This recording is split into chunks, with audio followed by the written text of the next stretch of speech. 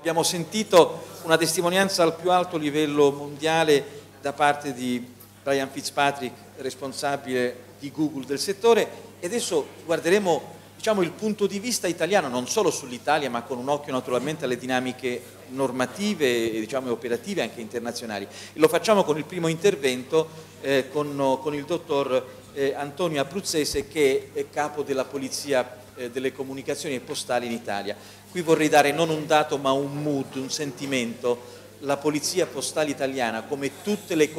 Chiedo scusa, come tutte le competenze di settore nelle istituzioni italiane, sono al più alto livello mondiale e questa è una cosa di cui spesso noi italiani eh, non conosciamo i, i termini. Dall'estero chiedono alle expertise italiane lumi su come si proceda in questi casi. Quindi siamo onorati di questa considerazione nazionale. Io le darei subito, eh, dottor Abruzzese, la parola eh, al direttore della Polizia Postale delle Comunicazioni Italiane. Grazie. Grazie, eh, grazie di averci invitato e di averci voluto qui. Questa occasione è, è particolarmente importante e significativa perché concede quelle grandi possibilità connesse alle alla cooperazione, alla cooperazione che è fondamentale non solo tra paesi, tra continenti, perché oramai parliamo di questo, ma anche tra vari operatori che all'interno di, di uno, Stato, di una compagine nazionale operano, quindi aziende ed altro.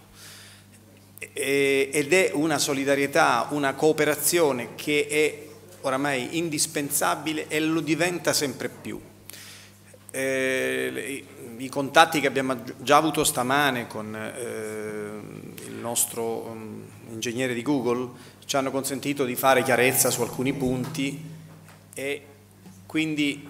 eh, eh, di trovare delle chiavi per migliorare un po' quella che è mh, la, la, la, la, capacità doppia, cioè quella di tutelare i, i, diritti degli utenti, come dice il titolo del, del meeting odierno, quella di eh, poter procedere a livello investigativo nel caso ci sia commissione di reati. Il, il campo è enorme, sconfinato. Eh, ho molto apprezzato e riflettuto sulle considerazioni del professor Pizzetti in apertura che sostanzialmente ci ha, ci ha richiamato la oscillazione di tutte le tematiche e i dibattiti, parliamo del settore investigativo, tra libertà assoluta, primo emendamento degli Stati Uniti, libertà assoluta del, della informazione e l'altro, il quarto, in tema di eh, mm, diciamo, potere dell'autorità di intervenire per reprimere condotte devianti o fatti che pongono in pericolo la sicurezza. Ecco, è da que questi, da quest attraverso e tra questi due poli che vanno individuate le, le, le eh, situazioni di eh, migliori per poter procedere.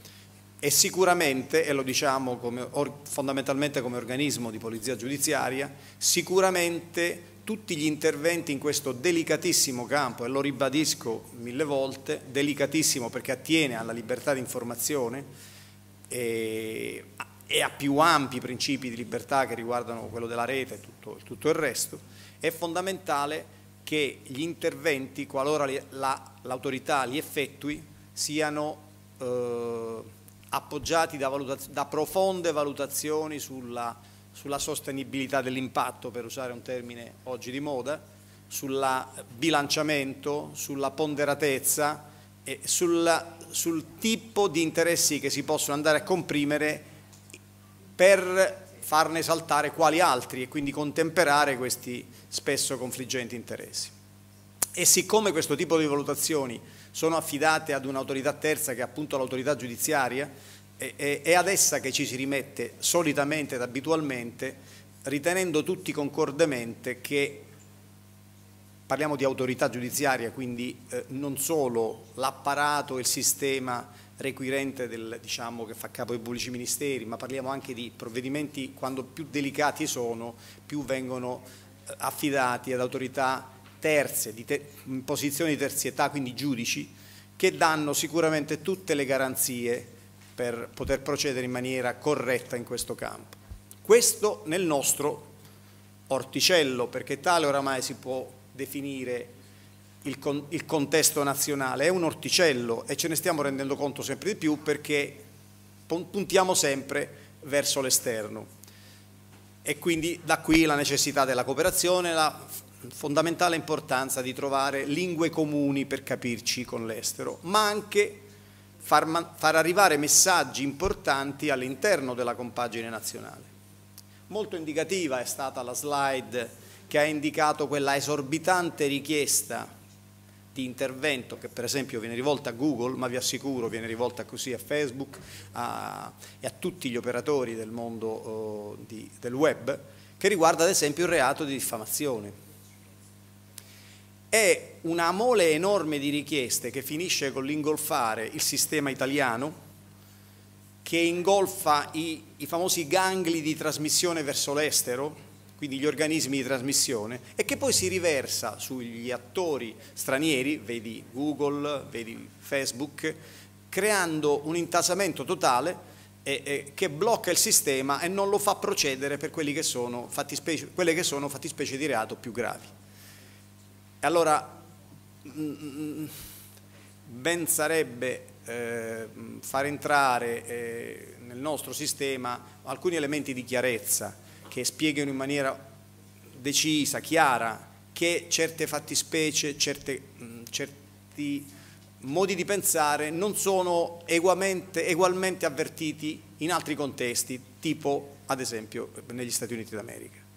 Quindi eh, pretendere provvedimenti immediati di, di, rimozione, di risoluzione, di, di blocco di certi, di certi contenuti o di certi flussi di comunicazione è decisamente inutile e serve soltanto ad ingolfare il sistema. Detto questo, invece l'attività investigativa è fondamentale in fatti di estrema gravità sul piano criminale. E chi ha la gestione dei dati, Google è una miniera fondamentale da questo punto di vista, ha oramai avviato uno sperimentatissimo diciamo, rapporto di collaborazione anche col nostro Paese per cui ha una struttura italiana eh, diciamo giuridica eh, che ci permette di affrontare in maniera oramai abbastanza standardizzata attraverso delle procedure, delle policy eh, molto fruttuose quelli che sono i canali di richiesta di dati veri, di dati sensibili. Il problema dei dati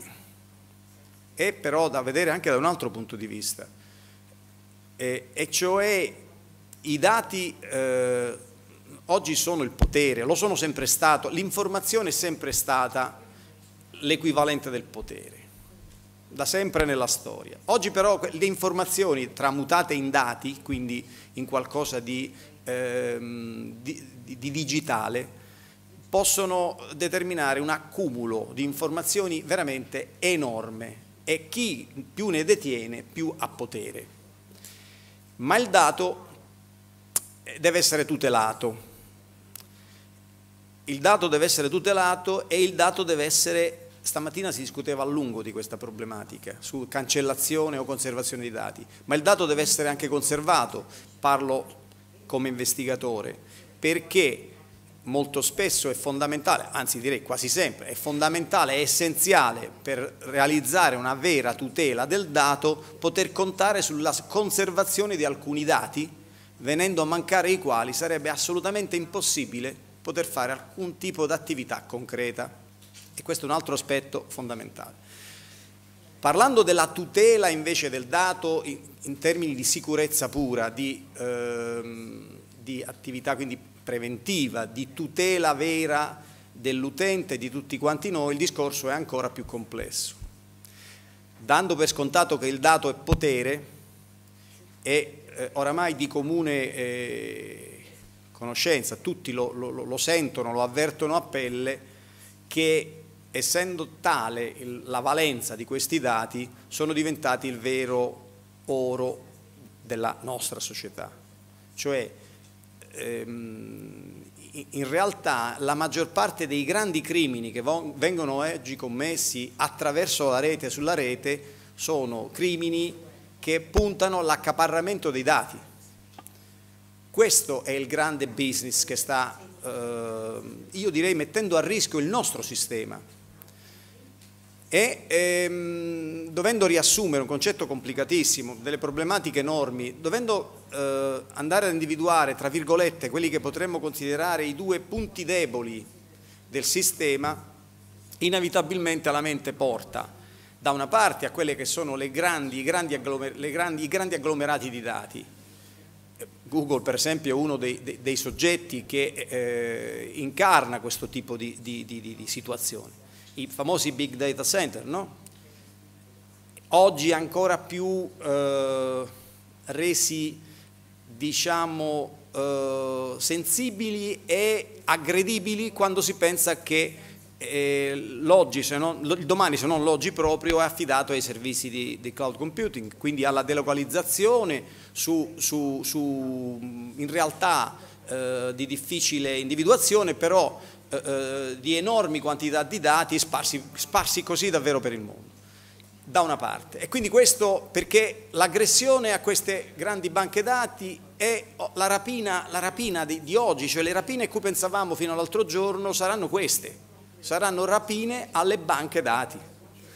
da una parte. Dall'altra c'è un altro aspetto fondamentale, i dati li abbiamo anche noi, cioè li deteniamo, li possediamo noi. No, nel, mai nella storia si era in passato eh, visto una possibilità per il comune cittadino, per il singolo uomo della strada di poter avere una fortissima, eh, un enorme condensato di suoi dati personali in piccoli strumenti che oramai sono diventati i nostri computer o comunque tutti gli strumenti digitali di cui disponiamo.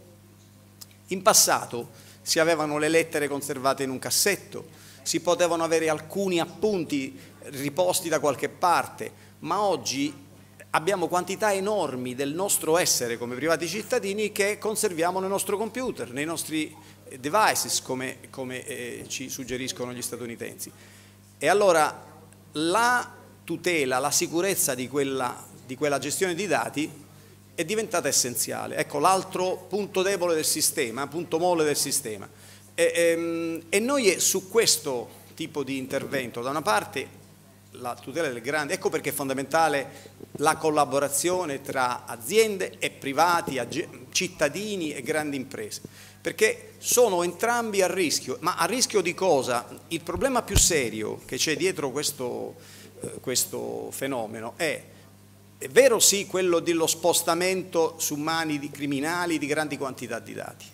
e questo è il fenomeno criminale puro, ma l'aspetto negativo è un altro ed è quello che si possa ingenerare in tutto il sistema, si possono ingenerare sensazioni di insicurezza.